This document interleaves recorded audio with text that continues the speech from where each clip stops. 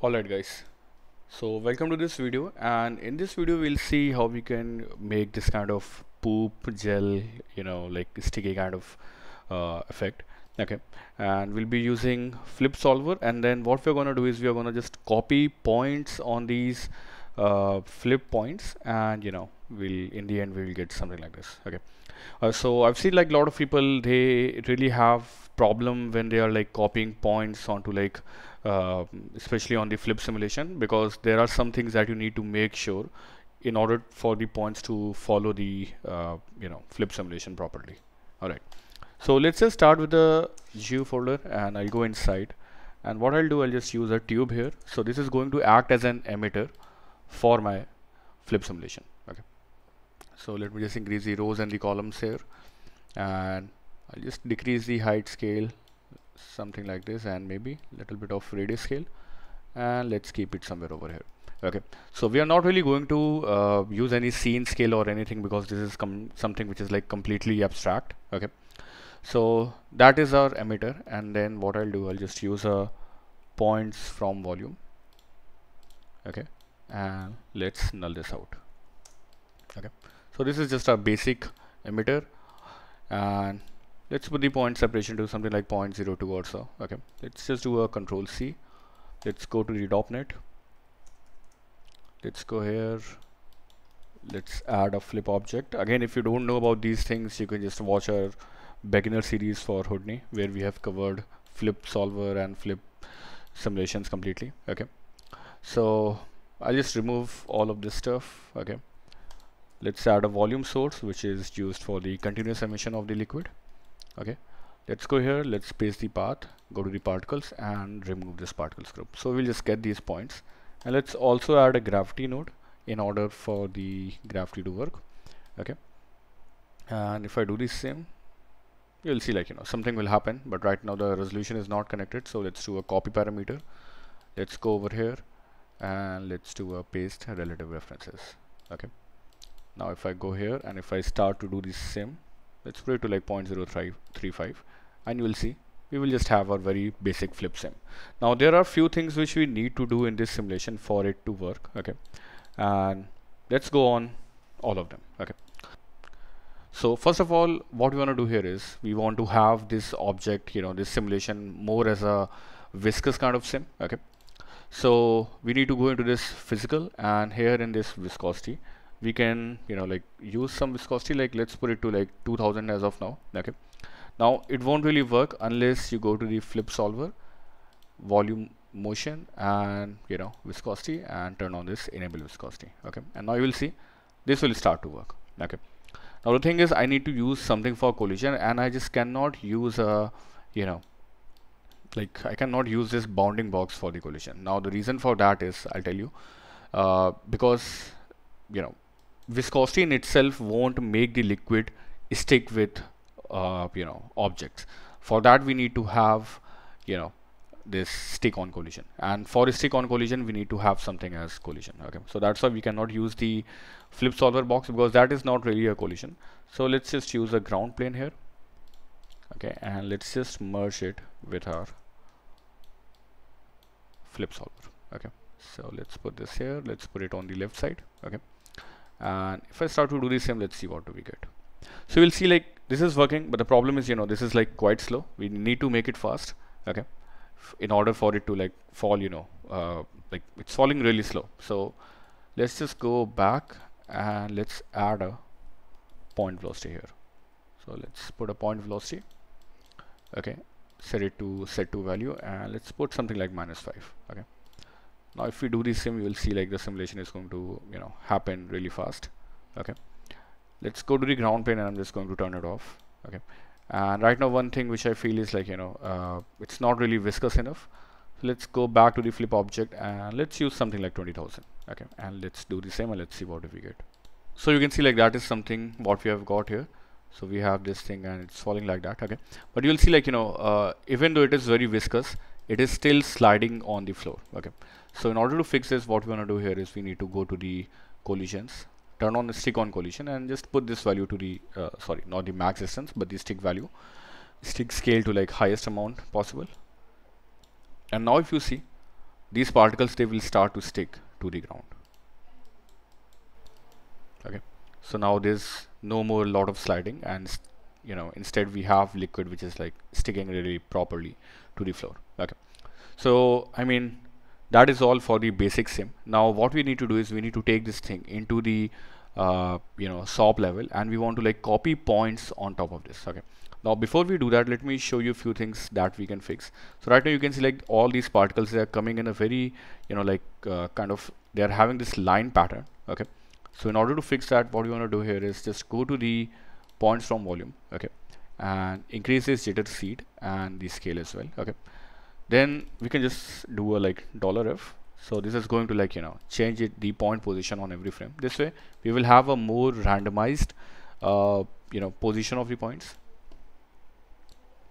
Okay so if you look at this now we have these points which are like in completely random position and we don't have anything like you know uh, we don't have any weird kind of artifacts or any patterns okay all right. Because if we have patterns in the flip points that will also show up in our uh, points that we are going to copy on top of these. Okay.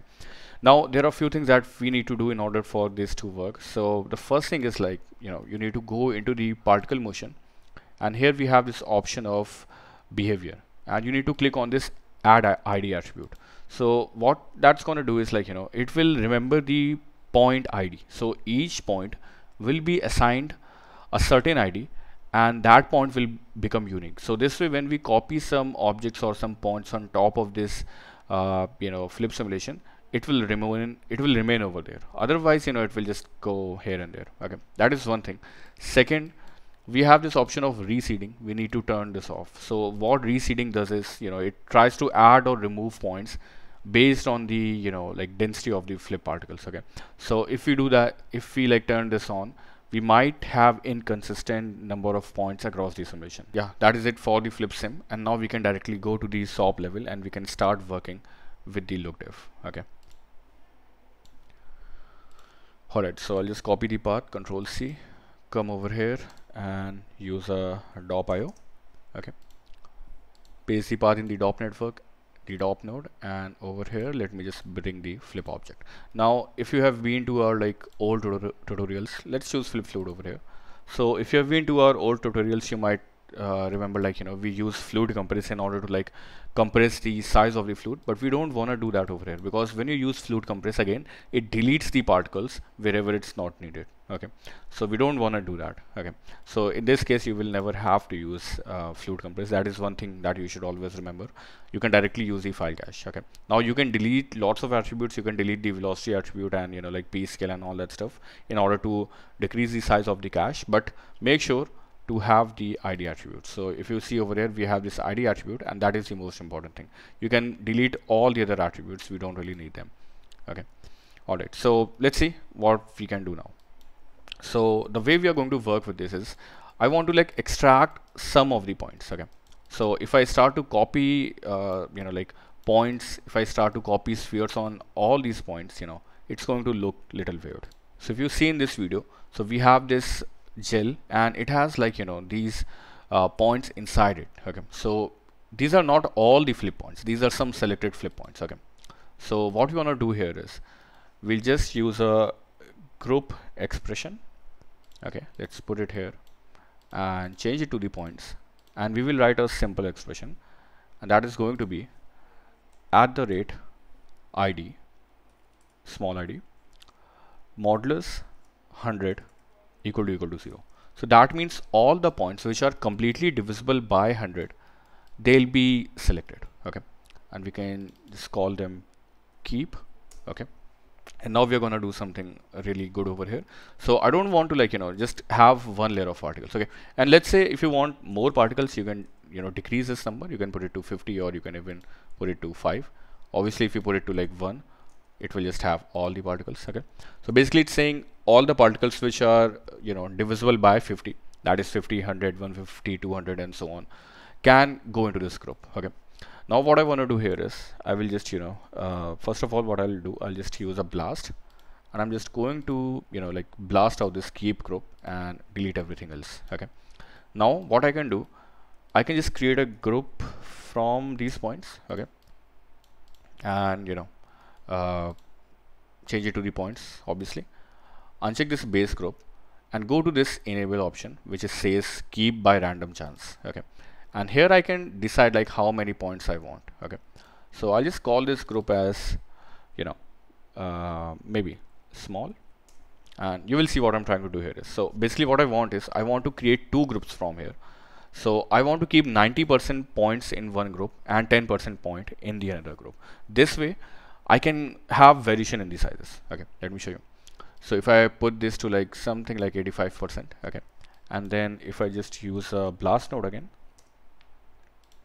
okay. And I'll just you know click on this small.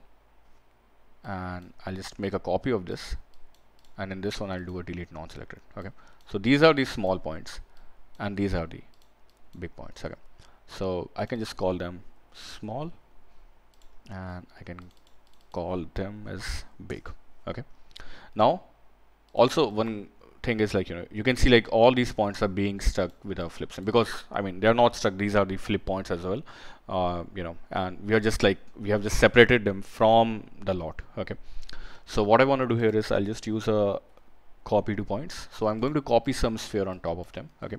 And I will use a sphere over here. Okay. Make sure your sphere is set to the primitive.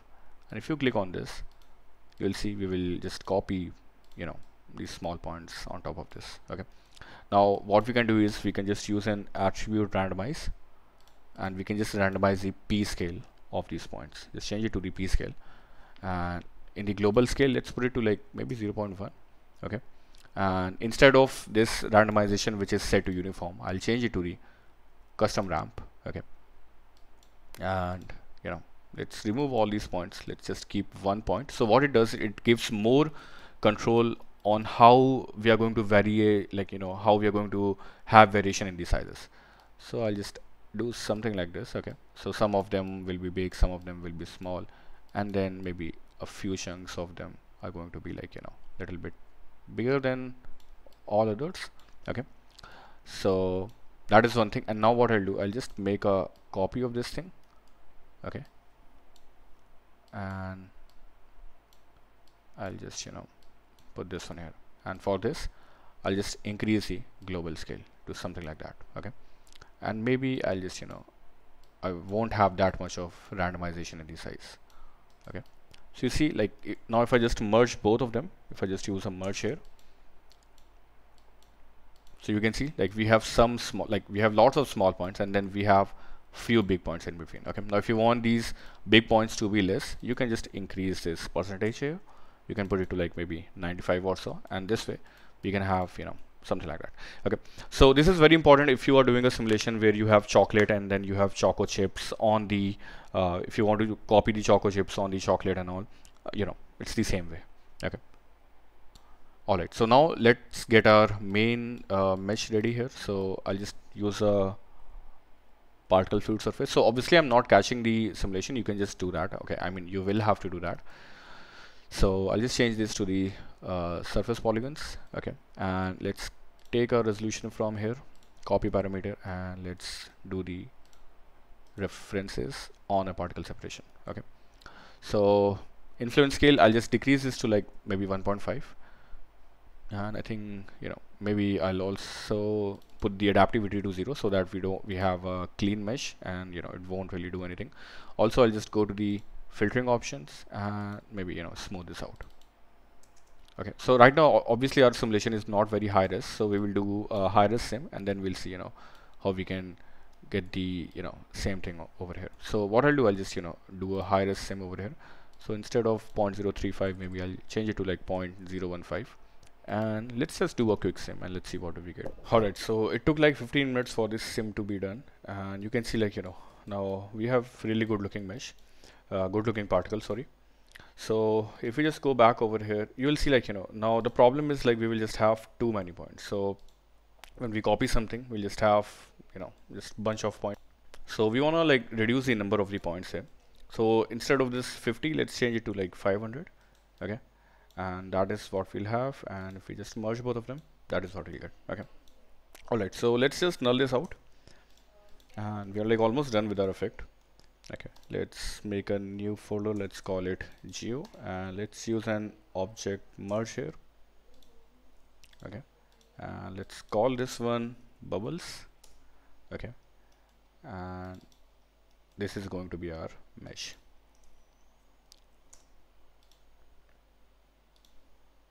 So if you still think like your mesh is not smooth enough you can just you know use a higher value like 20 for the smooth. Okay and now let's just do a control C over here and let's make a folder. Let's copy this folder and let's paste the path and we'll just call this gel. Okay let's turn both of these off. Okay and you can see like we have something like that. And let's let's just do something. Let's put up a camera here. And I'll just find a good angle maybe something like this. Okay alright so let's put up an environment light here. And I'll just browse for the HDRI you can just download any HDRI from Polyhaven. Okay. Then what I'll do I'll just use a grid over here which will act as a floor. I'll increase the scale over here and I'm just going to use a texture over here. Okay Alright, so if I just go to the render view and if I start to render, let's see what we get.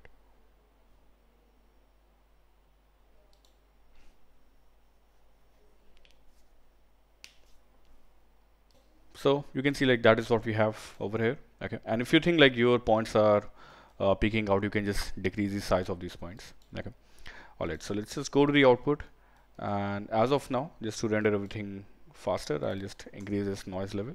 Okay and I'll go to the material palette. I'll put up a principal shader. And I'll also use a basic liquid here. Okay. So this is going to be the floor. So let's call it floor. This is going to be for the gel. So let's call it gel.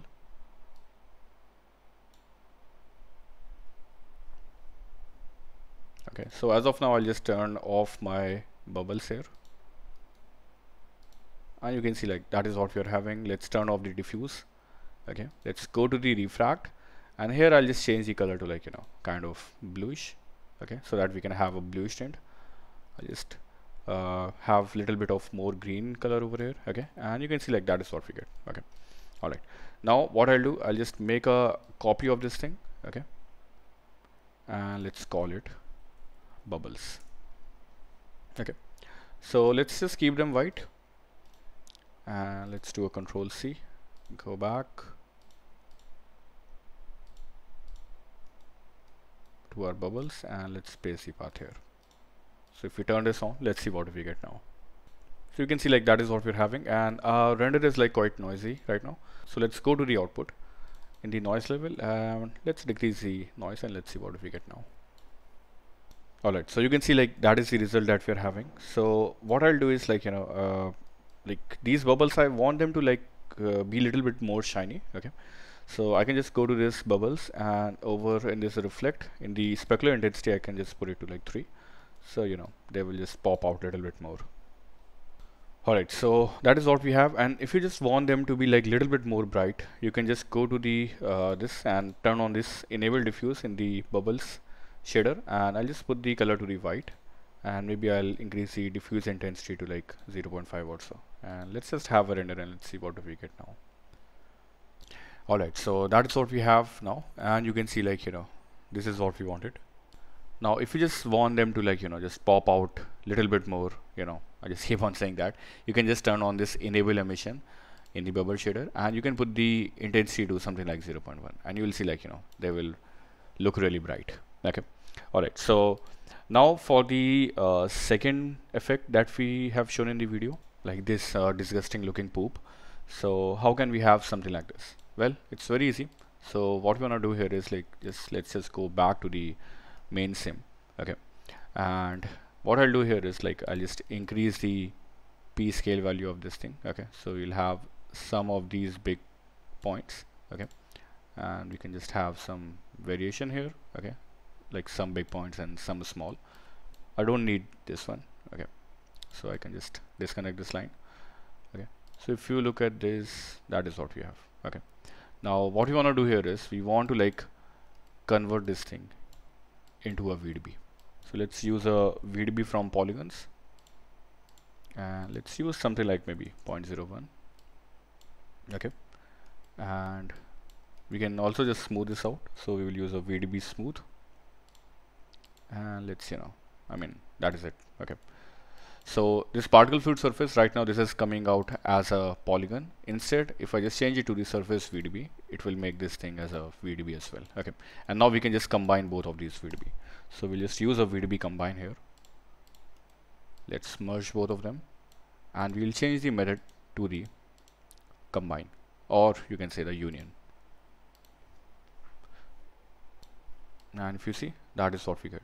Okay so if you want again like you know we can have more points here maybe like if we change it to the 85 percent. Okay? And then we can just have an overall smooth here. So that will really integrate both of these things together. Okay? And then we can just use a convert VDB and we can convert it back to the polygons. Okay